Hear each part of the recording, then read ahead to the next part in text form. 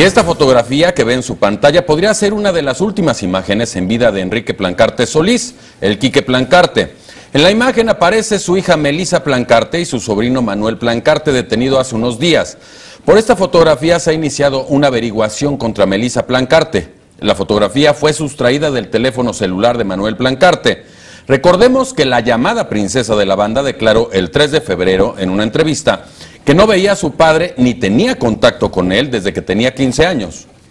Te invitamos a seguir cuestionando la información con los siguientes videos.